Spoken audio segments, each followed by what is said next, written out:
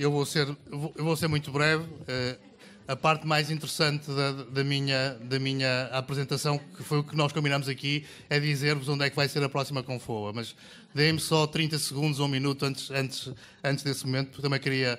eh, não repetindo muito aquilo que já foi dito, queria, eh, de qualquer maneira, assinalar de facto o, o grande sucesso desta, desta conferência, em termos de número de participantes, do número de trabalhos submetidos, eh, da qualidade dos trabalhos submetidos e, portanto, mais uma vez, a fasquia elevou e a fasquia está alta, e, portanto, e, e, o testemunho, quem vai pegar no testemunho do próximo ano vai ter que manter essa fasquia, mas estou, estou completamente confiante que vai manter essa fasquia ou elevar essa fasquia ainda, mas, mas, digamos, mas ficou com o trabalho mais difícil depois destes dias aqui no, no, no, no Rio de Janeiro. Uh, queria também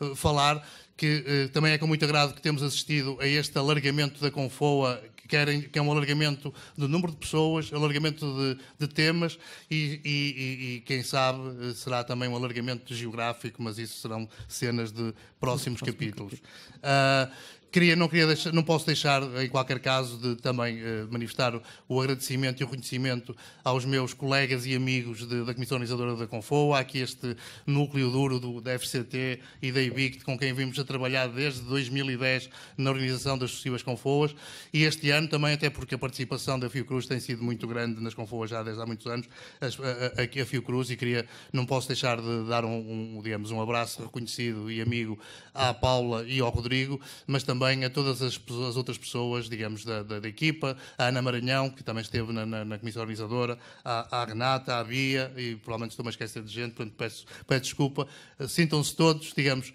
a, a, abraçados reconhecidamente eh, pelo, pelo vosso contributo e pelo vosso esforço, e também, eh, mais uma vez, também queria, não, também não posso deixar de referir a, Presidente da, da Cruz, a Nízia Trindade Lima, que também era, foi sempre uma, uma velha aliada do acesso aberto e da Confoa, e portanto e que, e que acolheu esta, esta ideia de, de braços abertos. E, e, finalmente também, porque não me, ficará, não me ficava bem não reconhecer os da casa, também quero dar um, um, um, agradecimento muito especial às pessoas da equipa da Universidade de Minho que mais diretamente trabalharam na organização da Confoa, ao José Carvalho e à Raquel Truta, porque eles fizeram